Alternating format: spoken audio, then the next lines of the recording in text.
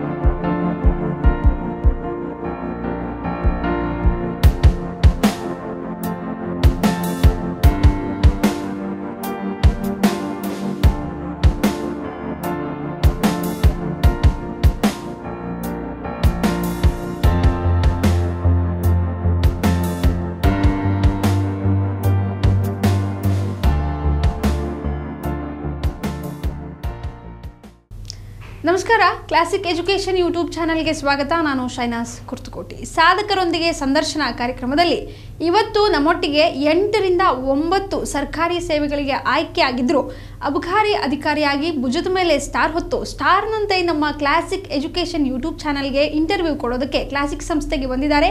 Classic ಸಂಸ್ಥೆಯ ಹೆಮ್ಮೆಯ ವಿದ್ಯಾರ್ಥಿನಿ ಇವತ್ತಿನ ಸಾಧಕಿ. ಹಾಗಿದ್ರೆ ಬನ್ನಿ ರುಬಿಯಾ ಮೇಡಮ್ನ ಕಾರ್ಯಕ್ರಮಕ್ಕೆ ಸ್ವಾಗತ ಮಾಡೋಣ. ಮತ್ತು ಅವರದೇ ಮಾತುಗಳಲ್ಲಿ ಸಾಧಕರ ಜೀವನ ಹೇಗಿರುತ್ತೆ ಮತ್ತು ಸಾಧನೆಯ ಹಾದಿ ಹೇಗಿತ್ತು ಅನ್ನೋದನ್ನ ತಿಳ್ಕೊಳ್ಳೋಣ. ಮೇಡಮ್ ನಮಸ್ತೆ. ಕಾರ್ಯಕ್ರಮಕ್ಕೆ ಸ್ವಾಗತ.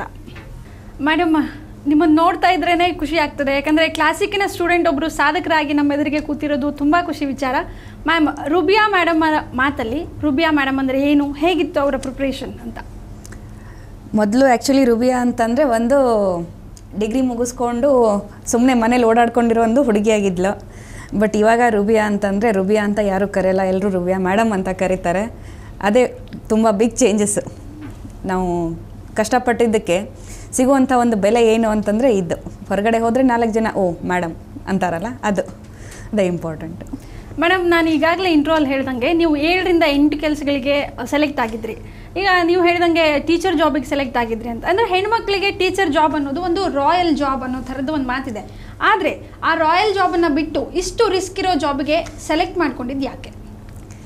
ಆ್ಯಕ್ಚುಲಿ ನಮ್ಮ ಮನೇಲಿ ಎಲ್ಲರೂ ಟೀಚರ್ಸೇನೆ ಇರೋದು, ನನಗೆ ಹೇಳ್ದಂಗೆ ಸುಮಾರು ಏಳೆಂಟು ಜಾಬ್ ಆಗಿದ್ದಾವೆ ಆ ಏಳೆಂಟು ಜಾಬಲ್ಲಿ ಫಸ್ಟ್ ಬಂದಿರೋದು ಅಪಾಯಿಂಟ್ಮೆಂಟ್ ಲೆಟ್ರ್ ಅಂದರೆ ನನಗಿದೆ. ಫಸ್ಟ್ ಎಕ್ಸೈಸ್ಗೆ ಬಂತು ಸೊ ಅದಕ್ಕೆ ಹೋದೆ. ಅದ್ರ ಜೊತೆಗೇ ಸುಮಾರು ಇತ್ತು. ಎಲ್ಲರೂ ಹೇಳಿದ್ರು ಸುಮ್ಮನೆ ರಿಸ್ಕಿ ಜಾಬ್ ಆಗುತ್ತೆ, ಏನಕ್ಕೆ ಇದೆಲ್ಲ ಬೇಕು ಅಂತ. ಬಟ್ ನಾನು ಸ್ವಲ್ಪ ಇರಲಿ ಸ್ಟಾರ್ಸ್ ಅಂತಂದರೆ ಅದರದ್ದು ಗ್ಲಾಮರ್ ಬೇರೆ ಇರ್ತದೆ. ನಾವು ಒಬ್ಬರು ಸ್ಟಾರ್ ಹಾಕಿದ್ರೆ ನಮ್ಮನ್ನು ನೋಡಿ ಸ್ಟಾರ್ ಹಾಕ್ಕೊಳ್ಳೋಕ್ಕೆ ಇನ್ನೂ ಇನ್ಸ್ಪೈರ್ ಆಗೋ ಮಕ್ಕಳು ಜಾಸ್ತಿ ಇರ್ತಾರೆ.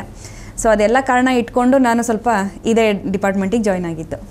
ಮೇಡಮ್ ಹಾಗಿದ್ರೆ ಫ್ಯಾಮಿಲಿ ಬಗ್ಗೆ ಹೇಳೋದಾದರೆ ಬಾಲ್ಯ ಹೇಗಿತ್ತು, ಮನೆಯಲ್ಲಿ ವಾತಾವರಣ ಹೇಗಿತ್ತು, ಈಗ ನೀವೊಬ್ಬರ ಅಧಿಕಾರಿ, ನಿಮ್ಮ ಮನೆಯ ವಾತಾವರಣ ನಿಮ್ಗೆ ಎಷ್ಟು ಸಪೋರ್ಟ್ ಮಾಡ್ತು ಅನ್ನೋದು? ನನ್ನ ಬಾಲ್ಯ ಅಂದರೆ ನಾನು ಆ್ಯಕ್ಚುಲಿ ನನ್ನ ಪ್ರೈಮರಿ ಹೈಸ್ಕೂಲೆಲ್ಲ ನಡ್ ಓದಿರೋದು ನಾನು ಹಾನಗಲ್ದಲ್ಲಿ. ಅಲ್ಲಿನೇ ಮುಗಿಸ್ಕೊಂಡು ಪಿ ಯು ಸಿಗೆ ನಾನು ಧಾರವಾಡಕ್ಕೆ ಬಂದೆ. ಪಿ ಯು ಸಿ ನಂದು ಕೆ ಸಿ ಡಿನಲ್ಲಾಯಿತು ಮತ್ತು ಡಿಗ್ರಿ ಜೆ ಎಸ್ ಎಸ್ ಕಾಲೇಜ್ನಲ್ಲಾಯಿತು ಆಮೇಲೆ ಅದು ಮುಗಿಸ್ಕೊಂಡು ಬಿ ಎಡ್ ಮಾಡಿದೆ. ನಾನು ಆ್ಯಕ್ಚುಲಿ ಎಲ್ಲರ ಥರ ಯೋಚನೆ ಮಾಡಿ ಟೀಚರ್ ಆಗಬೇಕು ಅಂತ ಬಿ ಎಡ್ ಮಾಡಿದೆ. ಅದಾದ ನಂತರ ಎಂ ಎಡ್ ಮಾಡಿದೆ. ಎಂ ಎಡಲ್ಲಿ ಓಕೆ ಮೆಡ್, ಮೆಡ್ಲಾಯಿತು. ಸೊ ಮೆಡ್ಲಾದ್ಮೇಲೆ ಸ್ವಲ್ಪ ಸ ಕ್ಯಾಂಪಸ್ ಎಲ್ಲ ಸೆಲೆಕ್ಷನ್ ಆಯಿತು ಅಂತ ಪ್ರೈವೇಟಿಗೆ ಹೋದೆ ಪ್ರೈವೇಟ್ ಜಾಬ್ಗೆಲ್ಲ ಹೋದೆ ನಾನು.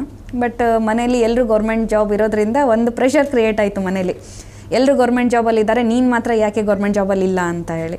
ಕೊನೆಗೆ ತಂದೆಯವರ ಒಂದು ಆಸೆಯಂತೆ ನಾನು ಓದಬೇಕು ಅಂತ ಅವಾಗ ಡಿಸೈಡ್ ಮಾಡಿದೆ. ಡಿಸೈಡ್ ಮಾಡಿ ಫಸ್ಟ್ ಬಂದಿರೋದು ತಲೆಗೆ ಕ್ಲಾಸಿಕ್ಕು ಯಾಕಂದರೆ ನಮ್ಮ ಸಿಸ್ಟ್ರುಗಳು ಇಲ್ಲೇ ಓದಿರೋದು. ಅವರಿಬ್ಬರು ಫಸ್ಟ್ ಅಟೆಂಪ್ಟಲ್ಲೇ ಕ್ಲಿಯರ್ ಮಾಡಿಕೊಂಡು ಅವರಿಬ್ಬರು ಟೀಚರ್ಸ್ ಆಗಿ ವರ್ಕ್ ಮಾಡ್ತಾ ಇದ್ದಾರೆ ಅದೇ ಒಂದು ನನಗೂ ಮೋಟಿವೇಶನ್ ಇತ್ತು. ಸೊ ಅದಕ್ಕೋಸ್ಕರ ನಾನು ಕ್ಲಾಸಿಕ್ಕಿಗೆ ಬಂದೆ. ಬಂದು ಒಂದು ಒಳ್ಳೆ ತರಬೇತಿ ತಗೊಂಡೆ ಇಲ್ಲಿ. ಇಲ್ಲಿ ತರಬೇತಿಗಿಂತ ಜಾಸ್ತಿ ತರಬೇತಿದಾರರು ಹೇಳಬೇಕು. ತುಂಬ ಒಳ್ಳೆ ಸ್ಟಾಫ್ ಇತ್ತು. ಅವ್ರು ಕೊಡ್ತಿರುವಂಥ ತರಬೇತಿ ಆ್ಯಕ್ಚುಲಿ ಇದು ಹೆಂಗೆ ಅಂತಂದರೆ ಕಾಂಪಿಟೇಟಿವ್ ಲೈಫ್ ಅನ್ನೋದು ಒಂದು ಸಮುದ್ರ ಇದ್ದಂಗೆ. ಯಾವ ಸಮುದ್ರದ ನೀರು ನಾವು ಎಷ್ಟು ಕೈಯಲ್ಲಿ ಹಿಡಿದ್ರೂ ಅದು ಸಾಕಾಗಲ್ಲ. ಬಟ್ ಈ ಸಮುದ್ರದಲ್ಲಿ ಯಾವುದು ನೀರನ್ನು ಹಿಡಿಬೇಕು, ಯಾವ ನೀರಲ್ಲಿ ನಾವು ಮೀನು ಸಿಗುತ್ತೆ ಅನ್ನೋದನ್ನು ಕರೆಕ್ಟಾಗಿ ಹೇಳ್ಕೊಟ್ಟಿದ್ದಂದರೆ ನಮ್ಗೆ ಇಲ್ಲಿ ಬಂದ ಮೇಲೆ ಎಷ್ಟನ್ನು ಓದಬೇಕು ಎಷ್ಟನ್ನು ಓದಬಾರ್ದು. ಅದು ಇಂಪಾರ್ಟೆಂಟ್ ಯಾಕಂದ್ರೆ ಕಾಂಪಿಟೇಟಿವ್ ಒಂದು ಹ್ಯೂಜ್ ಫೀಲ್ಡು ಇದರಲ್ಲಿ ನಾವು ಸುಮ್ಮನೆ ಎಲ್ಲ ಓದ್ತಾ ಹೋದರೆ ಬೇಕಾಗದೇ ಇರೋದೇ ಜಾಸ್ತಿ ಆಗಿಬಿಡ್ತದೆ. ಅದಕ್ಕೋಸ್ಕರ ಎಷ್ಟನ್ನು ಓದಬೇಕು, ಯಾವುದನ್ನು ಬಿಡಬೇಕು, ಅದೆಲ್ಲ ನಮಗೆ ಮಾರ್ಗದರ್ಶನ ಸಿಕ್ಕಿದ್ದು ಈ ಕ್ಲಾಸಿಕಲ್ಲಿ ಸೊ ಆ ಮಾರ್ಗದರ್ಶನವನ್ನು ಇಟ್ಕೊಂಡು ನಾವು ಸೆಲ್ಫ್ ಪ್ರಿಪ್ರೇಷನ್ ಮಾಡಿದ್ವಿ. ಆಮೇಲೆ ಇಲ್ಲಿ ಇನ್ನೊಂದು ಹೇಳಬೇಕು ಅಂದರೆ ಇಲ್ಲಿ ಮಂತ್ಲಿ ವೀಕ್ಲಿ ಟೆಸ್ಟು ಆ ವೀಕ್ಲಿ ಟೆಸ್ಟ್ ಮಾತ್ರ ನಮಗೆ ತುಂಬ ಅನುಕೂಲ ಆಯಿತು. ನಾವು ಕ್ಲಾಸ್ ಕೇಳ್ತೀವಿ ಅದನ್ನೇ ಮನೆಗೆ ಹೋಗಿ ರಿವಿಷನ್ ಮಾಡ್ತೀವಿ, ಅಲ್ಲಿಗೆ ನಮ್ಮದು ಸ್ಟಡಿ ಮುಗೀತು ಅಂತ ನಾವು ಅಂದ್ಕೊಂಡ್ಬಿಡ್ತೀವಿ ಬಟ್ ಆ್ಯಕ್ಚುಲಿ ನಮಗೆ ನಮ್ಮ ಲಿಮಿಟೇಷನ್ಸ್ ಗೊತ್ತಾಗೋದೆ, ನಮ್ಮ ಒಂದು ವೀಕ್ಲಿ ಟೆ ವೀಕ್ಲಿ ಏನು ಟೆಸ್ಟ್ ಮಾಡ್ತೀವಲ್ಲ, ಅದರದ್ದು ಸ್ಕೋರ್ ಬಂದಮೇಲೆ ನಮಗೆ ನಮ್ಮದು ವೀಕ್ ಸೆಕ್ಷನ್ ಯಾವುದು, ನಾವು ಎಲ್ಲಿ ವೀಕ್ ಆಗಿದ್ದೀವಿ, ನಾವು ಯಾವುದನ್ನು ಇಂಪ್ರೂವ್ ಮಾಡ್ಕೋಬೇಕು. ಇದೆಲ್ಲ ನಮಗೆ ಗೊತ್ತಾಗೋದೇ ವೀಕ್ಲಿ ಟೆಸ್ಟಿಂದ ಅದು ಎಷ್ಟೇ ಇರಲಿ, ಮೊದಲು ಅಂತಿತ್ತು, ಅನಿಸ್ತಿತ್ತು, ಏನಪ್ಪ ಜೆರಾಕ್ಸಿಗೆ ದುಡ್ಡು ತಗೋತಾರಲ್ಲ ಅಂತ. ಬಟ್ ಆಮೇಲೆ ಅನ್ನಿಸ್ತು ಆ ದುಡ್ಡು ಇವ್ರು ಮಾಡ್ತಿರೋವಂಥ ಕೆಲಸಕ್ಕೆ ಯಾವುದೂ ಈಕ್ವಲ್ ಅಲ್ಲ. ಬಟ್ ಅದು ನಮ್ಮನ್ನ ಕಂಪ್ಲೀಟಾಗಿ ಟರ್ನ್ ಮಾಡ್ತು. ಈ ವೀಕ್ಲಿ ಟೆಸ್ಟ್ಗಳು ಕಂಪ್ಲೀಟಾಗಿ ಟರ್ನ್ ಮಾಡಿ ಒಂದು ಇನ್ನೂ ಹೆಚ್ಚು ಸ್ಟಡಿ ಮಾಡಬೇಕು, ಹೆಚ್ಚು ಓದಬೇಕು ಅನ್ನೋದನ್ನು ನಮಗೆ ಒಂದು ಭಯದ ವಾತಾವರಣ ಅಂತೀವಲ್ಲ, ಅದು ಸ್ಟಾರ್ಟ್ ಆಗುತ್ತೆ. ಯಾವಾಗ ಭಯ ಸ್ಟಾರ್ಟ್ ಆಗುತ್ತಲ್ಲ ಅವಾಗ ಆಟೋಮೆಟಿಕ್ಕಾಗಿ ಓದೋಕ್ಕೆ ಸ್ಟಾರ್ಟ್ ಮಾಡ್ತೀವಿ. ಸೊ ಅದು ಈ ಥರ ನಮಗೆ ಕ್ಲಾಸಿಕ್ಕಿಂದ ತುಂಬ ಅನುಕೂಲ ಆಯಿತು. ಮೇಡಮ್ ನಾರ್ಮಲಿ ಎಲ್ರಿಗೂ ಅಬಕಾರಿ ಇಲಾಖೆ ಅಂದ ತಕ್ಷಣ ಸರಾಯಿ ಮತ್ತೆ ರೇಡ್ ಇದು ಮಾತ್ರ ನೆನಪಿಗೆ ಬರುತ್ತೆ. ಅಂದ್ರೆ ಅಬಕಾರಿ ಇಲಾಖೆ ಅಂದ್ರೆ ಏನು? ಇದರ ವ್ಯಾಪ್ತಿ ಕಾರ್ಯವ್ಯಾಪ್ತಿ ಎಷ್ಟು ಅಂತ ಒಬ್ಬ ಅಧಿಕ ಅಧಿಕಾರಿಯಾಗಿ ಹೇಳೋದಾದ್ರೆ. ಎಲ್ಲರೂ ನೀವು ಹೇಳ್ದಂಗೆ ಅಬಕಾರಿ ಅಂದ ತಕ್ಷಣ ಲಿಕ್ಕರ್ ಸೆಕ್ಷನ್ ಅಷ್ಟೇ ನೆನ್ಪು ಮಾಡ್ಕೊಂಡು ಬಿಡ್ತಾರೆ ಬಟ್ ಆ್ಯಕ್ಚುಲಿ ಆ್ಯಕ್ಚುಲಿ ಅಬಕಾರಿ ಅಂತಂದರೆ ರಾಜಸ್ವ ಸಂಗ್ರಹದ ಜೊತೆಗೆ ನಾವು ನಿಮ್ಗೆ ಬೆಸ್ಟ್ ಎಕ್ಸಾಂಪಲ್ ಹೇಳಬೇಕಂತಂದರೆ ಕೊರೋನಾ ಟೈಮಲ್ಲಿ ನಮ್ಮ ಇಲಾಖೆ ಕಾರ್ಯವೈಖರಿನ ನೀವು ನೋಡಿದ್ರೆ ಗೊತ್ತಾಗುತ್ತೆ ಅಬಕಾರಿ ಅಂದರೆ ಏನು, ಎಂತ ಅಂತ. ಎಷ್ಟೋ ಜನ ಸತ್ತೋದ್ರು. ಏನಕ್ಕೆ ಸತ್ತೋದ್ರು? ಕೊರೋನಾದಿಂದ ಸಾಯಲಿಲ್ಲ ಬಟ್ ಅವರಿಗೆ ಗುಣಮಟ್ಟದ ಮದ್ಯ ಸಿಗಲಿಲ್ಲ ಅಂತ ಹೇಳಿ ಸುಮಾರು ಜನ ಹೆಲ್ತ್ ಅಪ್ಸೆಟ್ ಆಯಿತು, ಸುಮಾರು ಜನ ತೀರ್ ಹೋದರು. ಬಟ್ ಆ ಜನರ ಜೀವನನೂ ಕೂಡ ನಮಗೆ ಅಷ್ಟೇ ಇಂಪಾರ್ಟೆಂಟು ಸೊ ಅದಕ್ಕೋಸ್ಕರ ಅವರಿಗೆ ಗುಣಮಟ್ಟದ ಮದ್ಯವನ್ನು ಒದಗಿಸೋದ್ರ ಜೊತೆ ಜೊತೆಗೆ ಈಗ ನ್ಯೂಸಲ್ಲಿರುವಂಥದ್ದು ಇಂಪಾರ್ಟೆಂಟು ಡ್ರಗ್ಸು ತುಂಬ ಯುತ್ತು ನಮ್ಮ ದೇಶದ ಬೆನ್ನೆಲುಬಾಗಿರುವಂಥ ಯುತ್ ಎಲ್ಲ ಈ ಡ್ರಗ್ಸಿಗೆ ಎಡಿಕ್ ಡ್ರಗ್ಸ್ ಅಡಿಕ್ಷನಿಗೆ ಒಳಗಾಗ್ತಾ ಇದ್ದಾರೆ. ಈ ಡ್ರಗ್ಸ್ ಅಡಿಕ್ಷನ್ಗೆ ಒಳಗಾದರೆ ಮುಂದೆ ಅವ್ರ ಫ್ಯೂಚರು ಅವ್ರ ಫ್ಯೂಚರ್ ಅಷ್ಟೇ ಅಲ್ಲ, ಅವ್ರ ಫ್ಯೂಚರು ನಮ್ಮ ದೇಶದ ಫ್ಯೂಚರ್ನ ಡಿಪೆಂಡ್ ಆಗಿದೆ. ಅದಕ್ಕೋಸ್ಕರ ಯುತ್ತನ್ನ ಒಂದು ಸರಿದಾರಿಗೆ ತರಬೇಕು, ಯುತ್ತಲ್ಲಿ ಒಂದು ಒಳ್ಳೆಯ ಮನೋಭಾವನೆ ಬೆಳೆಸಬೇಕು ಅನ್ನೋದು ನಮ್ಮ ಒಂದು ಡಿಪಾರ್ಟ್ಮೆಂಟ್ನ ಧ್ಯೇಯ. ಮೇಡಮ್ ಅಂದರೆ ಧಾರವಾಡದಲ್ಲಿ ತುಂಬ ಕೋಚಿಂಗ್ ಸೆಂಟರ್ಗಳಿವೆ ಕ್ಲಾಸಿಕನ್ನೇ ಯಾಕೆ ಆಯ್ಕೆ ಮಾಡ್ಕೊಂಡ್ರಿ? ಮತ್ತು ಕ್ಲಾಸಿಕಿನ ವಿಶೇಷತೆ ನೀವೇನು ಹೇಳ್ತೀರಿ? ಫಸ್ಟ್ ಆಫ್ ಆಲ್ ಅದನ್ನ ಹೇಳ್ದಂಗೆ ನಮ್ಮ ಸಿಸ್ಟರ್ಸ್ದು ಇಲ್ಲಿ ಬಂದರು ಫಸ್ಟ್ ಅಟೆಂಪ್ಟಲ್ಲೇ ಅವ್ರು ಕ್ಲಿಯರ್ ಆದರು. ಅವ್ರು ಕ್ಲಿಯರ್ ಆದ ತಕ್ಷಣವೇ ಒಂದು ತಲೆಯಲ್ಲಿತ್ತು ಏನು ಅಂದರೆ ಕ್ಲಾಸಿಕಿಗೆ ಹೋದರೆ ಒಂದು ಜಾಬ್ ಆಗುತ್ತೆ ಅನ್ನೋದು ಮಾತ್ರ ತಲೆಯಲ್ಲಿತ್ತು. ಆಮೇಲೆ ಇಲ್ಲಿ ಬಂದ ಮೇಲೆ ಗೊತ್ತಾಯಿತು, ಇದೊಂದು ಸಾಗರ, ಸಾಗರದಂಥ ಲೈಫ್ ಇದೆ ಕಾಂಪಿಟೇಟಿವ್ ಲೈಫ್ ಅನ್ನೋದು. ಇದರಲ್ಲಿ ನಮ್ಮ ಪ್ರಯತ್ನವೂ ಬೇಕು. ಅದ್ರ ಜೊತೆ ತರ ಅದು ಹೇಳ್ತಾರಲ್ಲ, ಮುಂದೆ ಗುರಿ ಇರಬೇಕು, ಹಿಂದೆ ಗುರು ಇರಬೇಕು ಅಂತ. ಹಾಗೆ ಇಲ್ಲಿ ಗುರುಗಳ ಬದಲಿ ನಾವು ತರಬೇತಿ ಸಂಸ್ಥೆ ಇದೆ, ಇಟ್ಕೋಬೇಕು ಅಂತ ಹೇಳಿದ್ರೆ ಏನು ತಪ್ಪಾಗಲಿಕ್ಕಿಲ್ಲ. ಅದು ಕ್ಲಾಸಿಕ್ನಂಥ ತರಬೇತಿ ಸಂಸ್ಥೆ ಇಟ್ಕೊಳ್ಳೋದು ಅಂದರೆ ಇನ್ನೂ ಉತ್ತಮ ಅಂತಲೇ ಹೇಳ್ಬೋದು. ಸೊ ಆ ಗುರಿಯನ್ನು ಮುಟ್ಟೋಕ್ಕೆ ಯಾವ ಥರ ಹೋಗಬೇಕು, ಯಾವ ಮಾರ್ಗಕ್ಕೆ ಹೋಗಬೇಕು ಅನ್ನೋದನ್ನು ನಮಗೆ ಈ ತರಬೇತಿಯಿಂದ, ಈ ತರಬೇತಿ ಸಂಸ್ಥೆ ಹೇಳ್ಕೊಡ್ತು. ಅದಕ್ಕೋಸ್ಕರ ಕ್ಲಾಸಿಕ್ ಇಸ್ ದಿ ಬೆಸ್ಟ್ ಅಂತ ನಾನು ಹೇಳ್ಬೋದು. ಮ್ಯಾಮ್ ಈಗ ಅಬಕಾರಿ ಇಲಾಖೆಗೆ ಜಾಯ್ನ್ ಆದ್ರಿ. ಅಂದ್ರೆ ಲೆಟರ್ ಬಂದ ತಕ್ಷಣ ಇರುತ್ತಲ್ಲ, ಕನಸುಗಳಿರುತ್ತೆ. ನಾನು ಫಸ್ಟ್ ರೈಡ್ ಹಿಂಗಿರಬೇಕು. ಅಂದರೆ ನಾನು ಹೀಗೆ ಕೆಲಸ ಮಾಡಬೇಕು. ಈಗ ನಾನು ಆಫೀಸರ್ ನನ್ನ ಭುಜದ ಮೇಲೆ ಸ್ಟಾರ್ ಇದೆ ನನ್ನ ಮೇಲೆ ಜವಾಬ್ದಾರಿ ಇದೆ ಅಂತ ನೂರಾರು ಕನಸುಗಳಿರುತ್ತೆ. ಅಂದರೆ ಒಂದು ಲೆಟರ್ ಕೈಗೆ ಸಿಕ್ಕ ತಕ್ಷಣ ನಮ್ಮದೇ ಕೆಲಸ ಈ ರೀತಿ ಆಗಲಿ ಅನ್ನೋದಿರುತ್ತೆ. ಹಾಗಿದ್ರೆ ನಿಮ್ಮ ಫಸ್ಟ್ ರೈಡ್ ಹೇಗಿತ್ತು ಮತ್ತು ಅದರ ಪ್ರಿಪ್ರೇಷನ್ ಹೇಗಿತ್ತು? ಆ್ಯಕ್ಚುಲಿ ಫಸ್ಟ್ ರೈಡ್ ನೀವು ಕೇಳ್ದಂಗೆ ತುಂಬ ಎಕ್ಸೈಟ್ಮೆಂಟ್ ಇತ್ತು. ನಮಗೆ ಎಲ್ಲ ಟಿ ವಿನಲ್ಲಿ ಮಾತ್ರ ನೋಡಿದ್ವಿ ನಾವು ರೈಡ್ಗಳೆಲ್ಲ ಹೆಂಗೆ ನಡೀತವೆ, ಏನು ನಡೀತವೆ.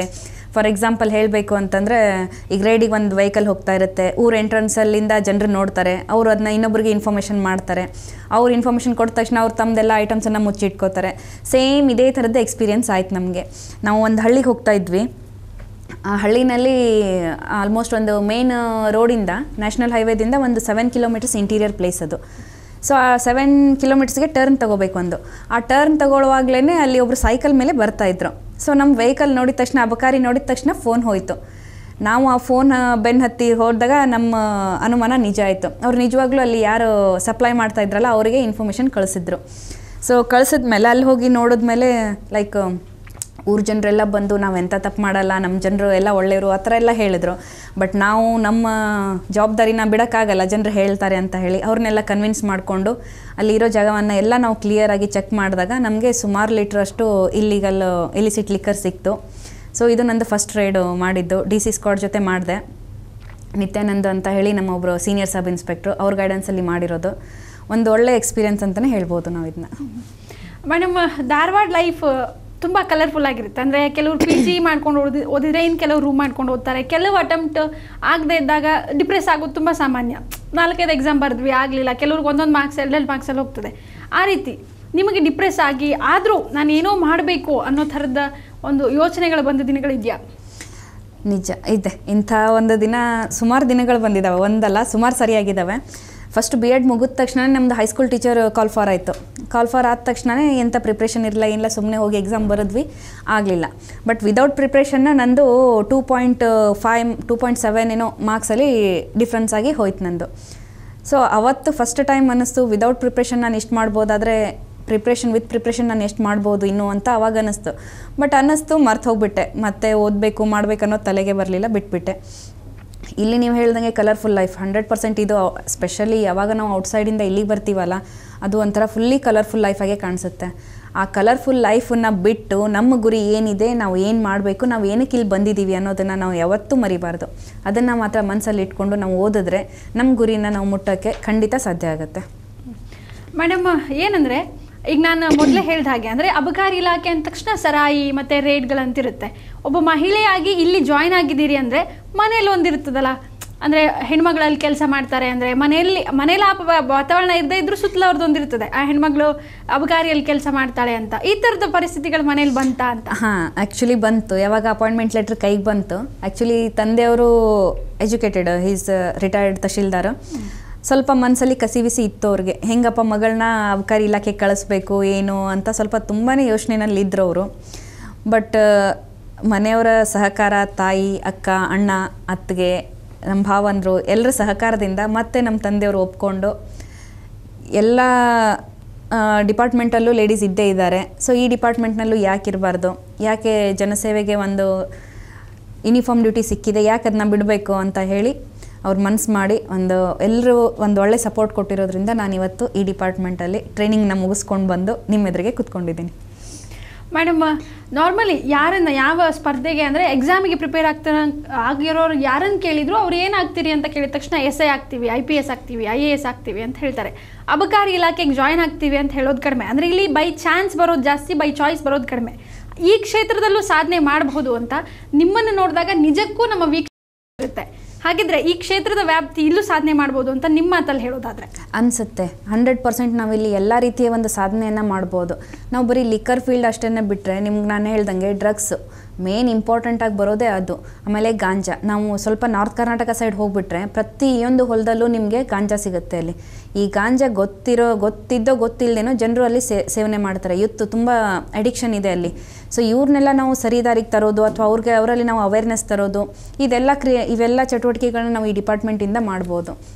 ಮತ್ತು ಇವತ್ತು ಒಂದು ತಮ್ಮ ಲೈಫನ್ನು ಸರಿ ಮಾಡಿಕೊಂಡ್ರು ಅಂತಂದರೆ ಆಟೋಮೆಟಿಕ್ಲಿ ನಾವು ನೇಷನ್ಗೆ ಕಾಂಟ್ರಿಬ್ಯೂಷನ್ ಕೊಟ್ಟಂಗೆ ಆಗ್ತದೆ ಮೇಡಮ್ ರುಬಿಯಾ ಅವರು ರುಬಿಯಾ ಮೇಡಮ್ ಆಗಿ ಭುಜದ ಮೇಲೆ ಸ್ಟಾರ್ ಬರಲಿಕ್ಕೆ ಅವರ ಪ್ರಿಪ್ರೇಷನ್ ಹೇಗಿತ್ತು? ಪ್ರಿಪ್ರೇಷನ್ನು ಆ್ಯಕ್ಚುಲಿ ತುಂಬ ಕಷ್ಟದ ದಿನಗಳವು.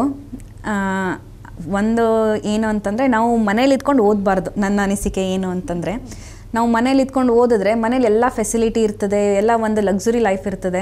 ಅದರಲ್ಲಿ ಇದು ಸ್ಟಡಿ ಪ್ರಿಪ್ರೇಷನ್ನು ಅಷ್ಟೊಂದು ಇಂಪಾರ್ಟೆನ್ಸ್ ಕೊಡೋಲ್ಲ. ಬಟ್ ಯಾವಾಗ ನಾವು ಮನೆ ಬಿಟ್ಟು ಆಚೆ ಬರ್ತೀವಲ್ಲ ನಮ್ಮ ಒರಿಜಿನಲ್ ಜವಾಬ್ದಾರಿ ಯಾವಾಗ ಸ್ಟಾರ್ಟ್ ಆಗುತ್ತೆ. ಯಾವಾಗ ನಾವು ಮನೆಯಿಂದ ಬಿಟ್ಟು, ಮನೆಯವ್ರನ್ನ ಬಿಟ್ಟು ಹೊರಗಡೆ ಬರ್ತೀವಲ್ಲ ಆವಾಗ ಅವರು, ಅವ್ರ ಎಕ್ಸ್ಪೆಕ್ಟೇಷನ್ಸ್ ನಮ್ಮ ಮೇಲೆ ಏನಿರ್ತದಲ್ಲ, ಅದು ನಮ್ಮನ್ನು ಸ್ಟಡಿ ಮಾಡೋಕ್ಕೆ ಹಚ್ಚುತ್ತೆ. ಮತ್ತು ಖಾಲಿ ಕೈಯಿಂದ ವಾಪಸ್ ಹೋದರೆ ಆಗೋ ಇನ್ಸಲ್ಟ್ ಏನಿದೆಯಲ್ಲ ಅದು ತುಂಬ ದೊಡ್ಡದದು. ಮನುಷ್ಯ, ನನ್ನ ಓನ್ ಅನುಭವದ ಪ್ರಕಾರ ಹೇಳಬೇಕಂದ್ರೆ ಮನುಷ್ಯನಿಗೆ ಮೂರು ಮಾನಗಳು ಯಾವಾಗಲೂ ಜೊತೇಲಿರ್ಬೇಕಂತೆ. ಫಸ್ಟು ಅನುಮಾನ.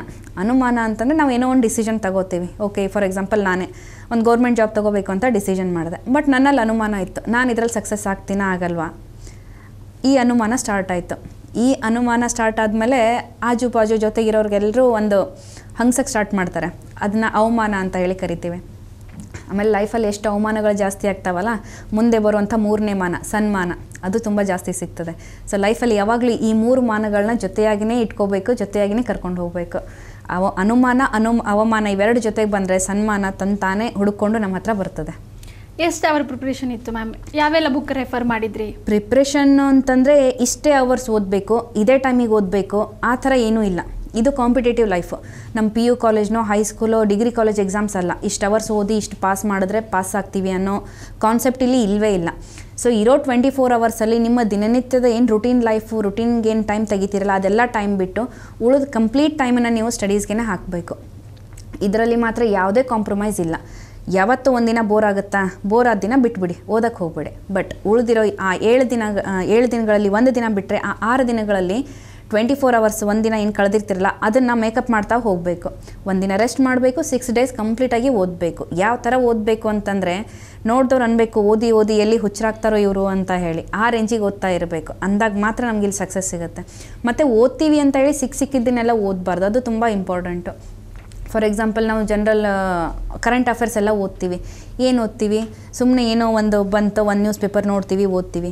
ಒಂದು ನ್ಯೂಸ್ ಪೇಪರ್ ಸಾಕಾಗಲ್ಲ. ಮಿನಿಮಮ್ ಒಂದು ದಿನಕ್ಕೆ ಒಂದು ನಾಲ್ಕರಿಂದ ಐದು ನ್ಯೂಸ್ ಪೇಪರ್ ಓದಬೇಕು.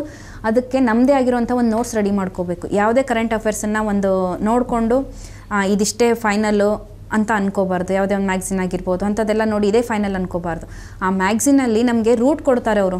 ಇವು ಇವು ಟಾಪಿಕ್ಸ್ ಇದ್ದಾವೆ ಕರೆಂಟ್ ಅಫೇರ್ಸಲ್ಲಿ ಇದೆಲ್ಲ ಇದ್ದಾವೆ ಅಂತ ಹೇಳಿ ಅವ್ರು ಟಾಪಿಕ್ಸ್ ಕೊಡ್ತಾರೆ. ಅದನ್ನು ನಾವು ಅಗಿತಾ ಅಗಿತಾ ಹೋಗಬೇಕು.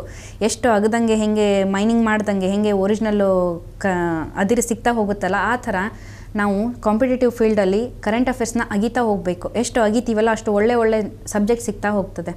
ಅದರಿಂದನೇ ನಾವು ಎಷ್ಟೊಂದು ಇಂಪ್ರೂವ್ಮೆಂಟ್ ಆಗತ್ತೆ ಆಗಕ್ಕೆ ಸಾಧ್ಯ ಆಗುತ್ತೆ. ಪರ್ಟಿಕ್ಯುಲರ್ಸ್ ಬುಕ್ ಇದೆಯಾ ಮ್ಯಾಮ್ ಇದೇ ಬುಕ್ಕನ್ನು ಓದಿ ಒಳ್ಳೆಯದು ಈ ರೈಟ್ರ್ ತುಂಬ ಒಳ್ಳೆಯದು ಅಂತ. ರೈಟ್ರ್ ಹೇಳೋದಕ್ಕಿಂತ ನಾವು ಸೋರ್ಸ್ ಬುಕ್ ಅಂತ ಹೇಳ್ತೀವಿ ರಿಸೋರ್ಸ್ ಬುಕ್ ಅಂತ ಹೇಳ್ತೀವಿ. ಆ ಬುಕ್ಸನ್ನು ಓದಿದ್ರೆ ತುಂಬ ಒಳ್ಳೆಯದು ರೈಟರ್ಸ್ ಏನು ಮಾಡಿರ್ತಾರೆ ಅದನ್ನ ಕಾಪಿ ಮಾಡಿ ಇದರಲ್ಲಿ ಇಳಿಸಿರ್ತಾರೆ. ಬಟ್ ಅದಕ್ಕಿಂತ ಬೆಟ್ರ್ ಅಂದರೆ ನಾವು ಸೋರ್ಸ್ ಬುಕ್ಕಿಗೆ ಹೋಗೋದು. ಮತ್ತು D S C R T N C R T basics books ಏನಿದಾವಲ್ಲ ಎಲ್ಲರೂ A high school to P U degree ಹೇಳ್ತಾರೆ. ನಾನು ಹೇಳ್ತೀನಿ ಒಂದು ಫಿ ಫೋರ್ತ್ ಅಥವಾ fifth ಸ್ಟ್ಯಾಂಡರ್ಡ್ದಿಂದ D S C R T ಮತ್ತು N C R T up to ಡಿಗ್ರಿವರೆಗೂ ಕಂಪಲ್ಸರಿಯಾಗಿ ಓದಬೇಕು, ಮತ್ತು ನಮ್ಮ ಹತ್ರ ಮ್ಯಾಪ್ ಇರಬೇಕು. ಮ್ಯಾಪ್ ಇಟ್ಕೊಂಡು ಮ್ಯಾಪ್ ರೀಡಿಂಗ್ ಮಾಡಿದ್ರೆ ಆಲ್ಮೋಸ್ಟ್ ನಾವು ಕಾಂಪಿಟೇಟಿವ್ ಎಕ್ಸಾಮ್ಸನ್ನು ಕವರ್ ಮಾಡ್ದಂಗೆ ಆಗುತ್ತೆ. ರುಬಿಯಾ ಮೇಡಮ್ ಅಭಿಕಾರಿ ಇಲಾಖೆಗೆ ಬಂದಿದ್ದು ಬೈ ಚಾನ್ಸ್ ಈಗ ಎಕ್ಸ್ಪೀರಿಯನ್ಸ್ ಹೇಗಿದೆ ಮ್ಯಾಮ್ ಫಸ್ಟು ಹೇಳ್ದಂಗೆ ಬೈ ಚಾನ್ಸ್ ಬಂದಾಗ ಸ್ವಲ್ಪ ಅಳಕ್ಕಿತ್ತು ಮನಸ್ಸಲ್ಲಿ ಹೆಂಗಪ್ಪ ನಾನು ಇಲ್ಲಿರ್ತೀನಿ ಹೆಂಗೆ ಸರ್ವೈವ್ ಆಗ್ತೀನಿ ಏನೋ ಅಂತ ಹೇಳಿ. ಬಟ್ ಈಗ ಟ್ರೈನಿಂಗ್ ಮುಗಿಸ್ಕೊಂಡು ಬಂದಿದ್ದೀನಿ. ಒಂದು ಒಳ್ಳೆ ಕಾನ್ಫಿಡೆನ್ಸ್ ಲೆವೆಲ್ ಇದೆ. ಒಂದು ಕಾನ್ಫಿಡೆನ್ಸ್ ಲೆವೆಲ್ ಸ್ವಲ್ಪ ಟ್ರೈನಿಂಗಲ್ಲಿ ಸರಿ ಮಾಡ್ತಾರೆ. ಸೊ ಇವಾಗ ಆ ಥರ ಏನು ಮೊದಲಿನ ಥರ ಅಳಕ್ಕೆ ಅಥವಾ ಭಯ ಅದೇನೂ ಇಲ್ಲ. ಇವಾಗ ನಾನು ಯಾವುದೇ ರೇಡ್ ಆದರೂ ನಾನು ಸಿಂಗಲ್ ಆಗಿ ಹೋಗಿ ಮಾಡ್ಕೊಂಡು ಬರೋ ಅಂಥ ಕಾನ್ಫಿಡೆನ್ಸ್ ಲೆವೆಲ್ ನನ್ನಲ್ಲಿ ಬಂದಿದೆ. ಸೊ ಮಾಡ್ತೀನಿ. ಕೆಲವು ಸರಿ ಏನಾಗುತ್ತೆ ಮ್ಯಾಮ್ ಎಕ್ಸಾಮ್ಗೆ ಪ್ರಿಪೇರ್ ಆಗ್ತಾ ಇರ್ತೀವಿ, ತುಂಬ ಓದಿರ್ತೀವಿ. ಕೆಲವು ಸತಿ ಏನಾಗ್ತದೆ, ಚಿಕ್ಕ ಚಿಕ್ಕದೇನೋ ಮರ್ತು ಹೋಗಿರ್ತೀವಿ. ಕೆಲವು ಸತಿ ಅಂದರೆ, ಆ ಕ್ವೆಶನ್ ನಮಗೆ ಗೊತ್ತು, ಇದನ್ನ ಆಮೇಲೆ ಅಟೆಂಡ್ ಮಾಡೋಣ ಅಂತ ಬಿಟ್ಟಿರ್ತೀವಿ. ಅಥವಾ ಈ ಕ್ವೆಶನ್ ಗೊತ್ತು ಅಂತಿದ್ರು, ಏನಂದರೆ ಜಾಸ್ತಿ ಗೊತ್ತು ಅನ್ನೋ ಅವಸರದಲ್ಲಿ ಕ್ವೆಶನ್ ಬೇರೆ ರೀತಿನೇ ಅರ್ಥ ಮಾಡಿಕೊಂಡು ತಪ್ಪು ಮಾಡಿರ್ತೀವಿ. ಆ ಥರದ ತಪ್ಪುಗಳಾಗಿದೆಯಾ? ಆಗಿದ್ದಾವೆ. ನಮ್ಮದು ಸೈಕಾಲಜಿನಲ್ಲಿ ಥಾಂಡಾಯ್ಕ್ ಅವರು ಒಂದು ಥೇರಿ ಬರ್ತದೆ. ನಾವು ಎಷ್ಟು ಪ್ರಯತ್ನಗಳನ್ನ ಮಾಡ್ತಾ ಹೋಗ್ತೀವಲ್ಲ ಅಷ್ಟು ತಪ್ಪುಗಳು ಕಡಿಮೆ ಆಗ್ತಾ ಹೋಗ್ತವೆ ಅಂತ ಹೇಳ್ತಾರೆ. ಅದಕ್ಕೆ ನನ್ನ ಸಜೆಷನ್ ಏನು ಅಂತಂದರೆ ಗ್ರೂಪ್ ಡಿಯಿಂದ ಹಿಡ್ಕೊಂಡು ಗ್ರೂಪ್ ಎವರೆಗೂ ಯಾವುದೇ ಎಕ್ಸಾಮ್ ಬರಲಿ, ಆ ಎಕ್ಸಾಮ್ನ ಎಲ್ಲನೂ ಕಂಪಲ್ಸರಿ ಅಟೆಂಡ್ ಮಾಡಲೇಬೇಕು. ಈಗೇನು ನೀವು ಹೇಳಿದ್ರಲ್ಲ ಸಣ್ಣ ಸಣ್ಣ ತಪ್ಪುಗಳು ಅಂತ ಹೇಳಿ, ಈ ಸಣ್ಣ ಸಣ್ಣ ತಪ್ಪುಗಳು ಒಂದೊಂದೊಂದೊಂದು ಒಂದೊಂದು ಎಕ್ಸಾಮಲ್ಲಿ ಕಡಿಮೆ ಆಗ್ತಾ ಹೋಗ್ತವೆ. ಅಂದರೆ ಪರ್ಫೆಕ್ಷನ್ ಹತ್ರ ನಾವು ಹೋಗ್ತಾ ಹೋಗ್ತೀವಿ. ನನಗೆ ಹೇಳಬೇಕಂದ್ರೆ ನಾನೇ ಸ್ಟಾರ್ಟಿಂಗ್ ಒಂದೆರಡು ಎಕ್ಸಾಮಲ್ಲಿ ರಿಜಿಸ್ಟ್ರೇಷನ್ ನಂಬರು ಮತ್ತು ಒ ಎಂ ಆರ್ ಶೀಟ್ಸನ್ನು ಉಲ್ಟಾ ಹಾಕಿ ಬಂದಿದ್ದೆ. ಸೊ ಬಿಗ್ಗೆಸ್ಟ್ ಮಿಸ್ಟೇಕ್ಸ್ ಸ್ಕೋರ್ ತುಂಬ ಚೆನ್ನಾಗಿತ್ತು ಬಟ್ ಅದು ಉಲ್ಟಾ ಆಗಿತ್ತು. ಸೊ ಅದು ಕೈ ಕೊಡ್ತು. ಸೊ ಹೀಗೆ ಪ್ರತಿಯೊಂದು ಎಕ್ಸಾಮಿಂದ ಒಂದೊಂದು ತಪ್ಪನ್ನು ನಾವು ತಿದ್ಕೊಳ್ತಾ ಹೋಗ್ತೀವಿ. ಆಮೇಲೆ ಈ ಥರ ನೀವು ಹೇಳ್ದಂಗೆ ಆಪ್ಷನ್ಸ್ ಎಲ್ಲ ಗೊತ್ತಿರ್ತದೆ. ಎಲ್ಲ ಸರಿ ಆನ್ಸರ್ ಇದೆ ಅಂತ ಗೊತ್ತಾಗ್ತಿರ್ತದೆ ಬಟ್ ಏನು ಮಾಡ್ತೀವಿ? ಗಡ್ಬಿಡಿನಲ್ಲಿ ನಾವು ಅದನ್ನ ಮಿಸ್ ಮಾಡಿಬಿಡ್ತೀವಿ. ಸೊ ಅದಕ್ಕೆ ಫಸ್ಟ್ ಕ್ವಶನ್ಸ್ ಓದಬೇಕು, ಓದಿ ಅರ್ಥ ಮಾಡ್ಕೋಬೇಕು. ಅರ್ಥ ಮಾಡ್ಕೊಂಡ ತಕ್ಷಣವೇ ನಿಯರೆಸ್ಟ್ ಆನ್ಸರ್ನ ಹುಡುಕಕ್ಕೆ ಟ್ರೈ ಮಾಡಬೇಕು. ಗಡ್ಬಿಡಿನಲ್ಲಿ ಇದೇ ಫೈನಲ್ ಅಂತ ಹಾಕೋದಕ್ಕಿಂತ ನಿಯರೆಸ್ಟ್ ಆನ್ಸರ್ ಯಾವುದಿದೆ ಅದನ್ನ ಹುಡುಕೊಂಡು ಒಂದು ಎರಡು ಸೆಕೆಂಡಲ್ಲಿ ಯಾವುದು ಮ್ಯಾಚ್ ಆಗುತ್ತೆ, ಯಾವ್ದು ಮ್ಯಾಚ್ ಆಗಲ್ಲ. ಇದನ್ನ ನಮ್ಮದು ನಾವು ಸೆಲ್ಫ್ ಡಿಸಿಷನ್ ತೊಗೊಂಡು ಆಮೇಲೆ ಹಾಕಿದ್ರೆ ಒಳ್ಳೆಯದು ಗಡ್ಬಿಡಿನಲ್ಲಿ ಬೇಗ ಹಾಕೋದು ಹಾಕೋದಕ್ಕಿಂತನೂ ಒಂದೆರಡು ಸೆಕೆಂಡ್ ಟೈಮ್ ತೊಗೊಳೋದ್ರಿಂದ ಕರೆಕ್ಟಾಗಿ ಆನ್ಸರ್ನ ಹಾಕ್ಬೋದು. ಮೇಡಮ್ ನಾನು ಶುರುವಲ್ಲೇ ಹೇಳಿದೆ, ಎಂಟರಿಂದ ಒಂಬತ್ತು ಕೆಲಸಗಳಿಗೆ ಮೇಡಮ್ ಆಯ್ಕೆ ಆಗಿದ್ರು ಅಂತ. ಈಗ ನೋಡೋರಿಗೆಲ್ಲ ಏನಂದ್ರೆ, ಯಾವೆಲ್ಲ ಕೆಲಸಕ್ಕೆ ಆಯ್ಕೆ ಆಗಿದ್ರು? ಅದ್ರ ಬಗ್ಗೆ ಇನ್ಫಾರ್ಮೇಶನ್ ಕೊಡಲೇ ಇಲ್ಲ ಅಂತ ಒಂದು ಕ್ಯೂರಿಯಾಸಿಟಿ ಇರುತ್ತೆ. ಹಾಗಿದ್ರೆ ಯಾವೆಲ್ಲ ಕೆಲಸಕ್ಕೆ ನೀವು ಆಯ್ಕೆ ಆಗಿದ್ರಿ ಮ್ಯಾಮ್ ಆ್ಯಕ್ಚುಲಿ ಅಷ್ಟು ನೆನಪಿಲ್ಲ ನನಗೆ ಎಷ್ಟೊಂದು ಆಗಿದ್ದಾವೆ ಅಂಥೇಳಿ ನೆನಪಿರೋದು ಅಂತಂದರೆ ಎಫ್ ಡಿ ಎರಡು ಪೋಸ್ಟ್ ಆಗಿತ್ತು. ಒಂದು ರಾಮನಗರಕ್ಕಾಗಿತ್ತು, ಇನ್ನೊಂದು ಕ್ರಿಸಲ್ ಆಗಿತ್ತು. ಮತ್ತು ಸೂಪರ್ವೈಸರ್ ಪೋಸ್ಟ್ ಆಗಿತ್ತು ಸುಪ್ರಿಂಟೆಂಟ್ ಆಗಿತ್ತು ವಾರ್ಡನ್ ಪೋಸ್ಟ್ಗಳಾಗಿದ್ವು ಆಮೇಲೆ ಎಸ್ ಡಿ ಆಗಿತ್ತು ಬಟ್ ಎಸ್ ಡಿ ನಾನು ಫೈನಲಿಗೆ ಒನ್ ಇಷ್ಟು ಒನ್ನಿಗೆ ಅಟೆಂಡ್ ಆಗಲಿಲ್ಲ. ಬೇರೆದವ್ರಿಗೆ ಅವಕಾಶ ಸಿಗಲಿ ಅಂತ ಹೇಳಿ ನಾನು ಹೋಗಲಿಲ್ಲ ಅದಕ್ಕೆ ಆಮೇಲೆ ಎಕ್ಸೈಸಲ್ಲಿ ಇದಾಗಿರೋದು ನಾನು ರೈಟ್ ನಾವು ವರ್ಕ್ ಮಾಡ್ತಾ ಇದ್ದೀನಿ. ಮತ್ತು ಟೀಚರ್ ಪೋಸ್ಟ್ ಆಗಿತ್ತು. ಕ್ರೀಸಲ್ಲಿನೇ ಆಗಿತ್ತು ಮೊರಾರ್ಜಿ ದೇಸಾಯಿ ಸ್ಕೂಲಲ್ಲಿ ಸೊ ಇಷ್ಟೊಂದು ಪೋಸ್ಟ್ಗಳು ನೆನಪಿರೋದು ಸದ್ಯಕ್ಕೆ. ಅಂದರೆ ಎಷ್ಟು ಪೋಸ್ಟ್ಗಳಿಗೆ ಜಾಯ್ನ್ ಸೆಲೆಕ್ಟ್ ಆಗಿದ್ದಾರೆ ಅಂದರೆ ಅಷ್ಟನ್ನು ನೆನಪಿಟ್ಕೊಳ್ಳೋಕೆ ಆಗದೇ ಇರೋಷ್ಟು ಪೋಸ್ಟ್ಗಳಿಗೆ ಜಾಯ್ನ್ ಆಗಿದ್ದಾರೆ. ಮತ್ತು ಅದೇ ಕಾರಣಕ್ಕೆ ಇವತ್ತು ಇವರನ್ನು ಸಾಧಕರು ಅಂತ ಹೇಳಿ ಸಾಧಕರ ಕುರ್ಚಿ ಮೇಲೆ ಕೂರಿಸಿದ್ದೀವಿ. ಮೇಡಮ್ ಈಗ ಎಫ್ ಡಿ ಎಕ್ಸಾಮ್ ಅನೌನ್ಸ್ ಆಗಿದೆ, ಮತ್ತು ಪಿ ಎಸ್ ಐ ಎಕ್ಸಾಮ್ಸ್ ಕಾಲ್ಫಾರ್ಮ್ ಆಗಿದೆ. ಎಲ್ಲರೂ ಆ ಭುಜದ ಮೇಲಿನ ಸ್ಟಾರ್ಗಳನ್ನು ನೋಡಿ ಇನ್ಸ್ಪೈರ್ ಆಗಿರ್ತಾರೆ. ನಾವು ಸಿ ಯುನಿಟಿಂದ ಬರುವಾಗ ನೋಡಿದ್ವಿ, ಎಲ್ಲ ಯುವಕರು ನಿಮ್ಮೆಡೆಗೆ, ನಿಮ್ಮ ಭುಜದ ಮೇಲಿನ ಸ್ಟಾರ್ ಕಡೆಗೆ ನೋಡ್ತಾ ಇದ್ರು. ಯಾರೆಲ್ಲ ತಮ್ಮದೇ ಭುಜದ ಮೇಲೆ ಸ್ಟಾರ್ ಬೇಕು ಅಂತಿದ್ದಾರೆ, ಅವ್ರಿಗೆ ನೀವೇನು ಹೇಳಲಿಕ್ಕೆ ಇಷ್ಟಪಡ್ತೀರಿ? ನಾನು ಮೊದಲೇ ಹೇಳ್ದಂಗೆ ಮುಂದೆ ಗುರಿ ಇರಬೇಕು, ಹಿಂದೆ ಗುರು ಇರಬೇಕು. ಇದು ಮಾತ್ರ ಕಂಪಲ್ಸರಿ ನಿಮ್ಮ ಟೀಚರ್ಸು ನಿಮ್ಮ ಲೆಕ್ಚರ್ಸ್ ಯಾರು ಇರ್ತಾರಲ್ಲ, ಅವರು ಹೇಳೋ ಪ್ರತಿಯೊಂದು ಗೈಡೆನ್ಸನ್ನು ಚಾಚು ತಪ್ಪದೆ ಪಾಲಿಸಿ. ನಿಮ್ಮ ಗುರಿಯಿಂದ ನಿಮ್ಮ ಲಕ್ಷ್ಯವನ್ನು ಬೇರೆ ಕಡೆ ತಗೋಬೇಡಿ. ನಿಮ್ಮ ಗುರಿ ಹತ್ರ ಏನಿದೆ, ಅದನ್ನು ಮೊದಲು ನೀವು ಅಚೀವ್ ಆಗಬೇಕು. ಲೈಫ್ ಲಾಂಗ್ ಇದೆ, ಖುಷಿ ಪಡೋಕ್ಕೆ ಎಂಜಾಯ್ ಮಾಡೋಕ್ಕೆ ತುಂಬ ಲೈಫ್ ಇದೆ. ಬಟ್ ಎಕ್ಸಾಮ್ ಪ್ರಿಪ್ರೇಷನ್ ಟೈಮ್ ಏನಿದೆಯಲ್ಲ, ಇದು ಒಂದು ಸಾರಿ ನಿಮ್ಮ ಏಜ್ ಬಾರ್ ಆಯಿತು ಅಂದರೆ ಮತ್ತೆ ಇದು ಬರೋಲ್ಲ. ಬಟ್ ನೀವು ಎಂಜಾಯ್ ಮಾಡೋಕ್ಕೆ ಲೈಫ್ ಲಾಂಗ್ ನಮ್ಮದು ಟಿಲ್ ದ ಲಾಸ್ಟ್ ಬ್ರೀತ್ ಅಂತ ಹೇಳ್ತೀವಲ್ಲ ಲಾಸ್ಟ್ ಬ್ರೀತ್ವರೆಗೂ ನಾವು ಲೈಫ್ನ ಎಂಜಾಯ್ ಮಾಡ್ಬೋದು. So better focus on your career focus on your aim ಅದ್ರ ಹಿಂದೆ ಟ್ರೈ ಮಾಡಬೇಕು. ಟ್ರೈ ಟ್ರೈ ಟ್ರೈ ಇಷ್ಟೇ ಇದರಲ್ಲಿ ಮತ್ತೆ ಬೇರೆ ಯಾವುದೂ ಇಲ್ಲ ಟ್ರೈ ಮಾಡ್ತಾ ಇರಬೇಕು, ಓದ್ತಾ ಇರಬೇಕು. ಮೇಡಮ್ ಈ ಹಿಂದೆ ನೀವು ಕ್ಲಾಸಿಕ್ಕಿಗೆ ಸ್ಟೂಡೆಂಟ್ ಆಗಿ ಬಂದಿದ್ರಿ, ಇವತ್ತು ಒಬ್ಬ ಅಧಿಕಾರಿಯಾಗಿ, ಒಬ್ಬ ಸಾಧಕರಾಗಿ ಬಂದಿದ್ದೀರಿ. ಮತ್ತು ಹೇಗಿದೆ ಮೇಡಮ್ ಸಾಧಕರ ಜೀವನ? ಅಂದರೆ ಅಧಿಕಾರಿಯ ಲೈಫ್ ಹೇಗಿರುತ್ತೆ? ನೀವು ಹೇಳ್ದಂಗೆ ಸ್ಟೂಡೆಂಟ್ ಆಗಿದ್ದಾಗ ಉಪರ್ ಸರ್ ಅವರು ಹಿಂಗೆ ಸಾಧಕರನ್ನ ಕರ್ಕೊಂಡು ಬಂದು ಮೀಟ್ ಮಾಡಿಸ್ತಿದ್ರು. ಅವಾಗ ಮನಸ್ಸಲ್ಲಿ ಅನ್ನಿಸ್ತಿತ್ತು. ನಾವು ಒಂದಿನ ಈ ಥರ ಬರಬೇಕಲ್ಲ ಅಂತ ಹೇಳಿ. ಅದು ಒಂದು ಸ್ಪಾರ್ಕ್ ಇರುತ್ತೆ ಒಂದು ಲೈಫಲ್ಲಿ ಪ್ರತಿಯೊಬ್ಬರ ಲೈಫಲ್ಲಿ ಒಂದು ಸ್ಪಾರ್ಕ್ ಒಂದು ಕಿಡಿ ಹತ್ತಬೇಕಾಗಿರುತ್ತೆ ಯಾವುದೇ ಒಂದು ಒಳ್ಳೆ ಕೆಲಸ ಆಗಬೇಕು ಅಂತಂದರೆ. ಮೋಸ್ಟ್ಲಿ ನಮ್ಮ ಲೈಫಲ್ಲೂ ಅದೇ ಥರ ಒಬ್ಬರೊಬ್ಬರು ಸಾಧಕರು ಬಂದಾಗ ಮನಸ್ಸಲ್ಲಿ ಬಂದಿರೋ ಯೋಚನೆ ಇದು. ನಾವು ಈ ಥರ ಯಾಕೆ ಬರಬಾರ್ದು? ಯಾಕೆ ನಾವು ಇನ್ನೊಬ್ಬರನ್ನೇ ನಾವು ನೋಡಬೇಕು? ನಮ್ಮನ್ನು ಇನ್ನೊಬ್ಬರು ನೋಡಬೇಕಲ್ಲ ಅಂತ ಹೇಳಿ ಒಂದು ಸರಿ ಹಿಂಗೆ ಸಾಧಕರು ಬಂದು ಮಾತಾಡುವಾಗಲೇ ಅನಿಸಿದ್ದು. ಅವಾಗ ಅನಿಸಿದ್ದು, ಈಗ ನಾನು ಅದನ್ನ ಸಕ್ಸಸ್ ಮಾಡಿಕೊಂಡು ನಾನು ಮತ್ತೆ ಒಳ್ಳೆ, ನಾನೇನು ಅಂದ್ಕೊಂಡಿದ್ದೋ ಅದನ್ನ ಸಾಧಿಸ್ಕೊಂಡು ವಾಪಸ್ ಈ ಇನ್ಸ್ಟಿಟ್ಯೂಟಿಗೆ ಬಂದಿದ್ದೀನಿ. ಬರೋವಾಗ ಎಲ್ಲ ವಿದ್ಯಾರ್ಥಿಗಳು ನೋಡ್ತಾ ಇದ್ದರು ತುಂಬ ಖುಷಿಯಾಯಿತು ಖುಷಿ ಅನ್ನೋದಕ್ಕಿಂತ ಒಂದು ಸ್ಯಾಟಿಸ್ಫ್ಯಾಕ್ಷನ್ ಅಂತ ಹೇಳಿ ಕರಿತೀವಿ. ಲೈಫಲ್ಲಿ ತುಂಬ ಇಂಪಾರ್ಟೆಂಟಾಗಿ ಬೇಕಾಗಿರೋದು ಸ್ಯಾಟಿಸ್ಫ್ಯಾಕ್ಷನ್ ಆ ಸ್ಯಾಟಿಸ್ಫ್ಯಾಕ್ಷನ್ ಸಿಕ್ತು ನನಗೆ ಇವತ್ತು ಬಂದಿದ್ದಕ್ಕೆ. ಖುಷಿ ಆಯಿತು, ತುಂಬ ಖುಷಿ ಆಯಿತು. ನೋಡಿದ್ರಲ್ಲ, ಎಲ್ಲ ಸ್ಪರ್ಧೆಗಳಿಗೆ ಪರೀಕ್ಷೆಗಳಿಗೆ ರೆಡಿ ಆಗ್ತಿರ್ತಕ್ಕಂಥ ಎಲ್ಲ ಯುವಕರೇ, ಇವತ್ತು ನಮ್ಮ ಎದುರಿಗೆ ಕುಳಿತಿರುವ ಸ್ಟಾರ್ ಅಂದರೆ ನನಗೆ ಎಷ್ಟು ಹೆಮ್ಮೆ ಆಗ್ತಿದೆ ಅಂದರೆ ಕ್ಲಾಸಿಕ್ನ ಒಬ್ಬ ವಿದ್ಯಾರ್ಥಿ. ನನ್ನ ಲೈಫನ್ನು ಸಕ್ಸಸ್ಫುಲ್ ಮಾಡೋದಕ್ಕೆ ಕ್ಲಾಸಿಕ್ ತರಬೇತಿ ಸಂಸ್ಥೆ ಏನಿದೆಯಲ್ಲ ಇದರದ್ದು ಒಂದು ಸಪೋರ್ಟ್ ತುಂಬ ಇದೆ. ಇದರದ್ದು ಒಂದು ಬ್ಯಾಕ್ ಬೋನ್ ಅಂತಲೇ ನಾನು ಹೇಳ್ಬೋದು. So heartly thankful to classic centre thank you so much ಈಗ ಸಾಧಕರಾಗಿ ನಮ್ಮ ಎದುರಿಗೆ ಕೂತಿದ್ದಾರೆ, ಅವ್ರ ಭುಜದ ಮೇಲೆ ಸ್ಟಾರ್ ಇದೆ, ಮತ್ತೆ ಹಲವರ ಕನಸು ಏನಂದ್ರೆ ಭುಜದ ಮೇಲೆ ಸ್ಟಾರ್ ಇರಬೇಕು ಅನ್ನೋದು ಇದೇ ರೀತಿ. ನೀವು ಸಹ ಚೆನ್ನಾಗಿ ಓದಿ, ಅವ್ರು ಹೇಳಿದ್ರ ಒಬ್ಬ ಸಾಧಕರೇ ಮೀಟ್ ಆದರೆ ಸ್ಪಾರ್ಕ್ ಹತ್ತುತ್ತೆ ಅಂತ. ಇವರು ಹಲವರ ಬಾಳಿಗೆ ಸ್ಪಾರ್ಕ್ ಆಗಲಿ ಅಂತ ಹೇಳ್ತೀವಿ. ಇದೇ ಥರ ವಿಶೇಷವಾದ ಸಾಧಕರನ್ನ ಮತ್ತು ಸಾಧನೆಗಳನ್ನು ನಿಮ್ಮ ಮುಂದೆ ಬಿಚ್ಚಿಡ್ತೀವಿ. ನಮ್ಮ ಚಾನೆಲ್ನ ನಿರಂತರವಾಗಿ ನೋಡ್ತಾ ಇರಿ ಲೈಕ್ ಮಾಡಿ ಶೇರ್ ಮಾಡಿ ಸಬ್ಸ್ಕ್ರೈಬ್ ಮಾಡಿ, ಪಕ್ಕದ ಬೆಲ್ ಬಟನ್ ಒತ್ತೋದನ್ನು ಮರಿಬೇಡಿ.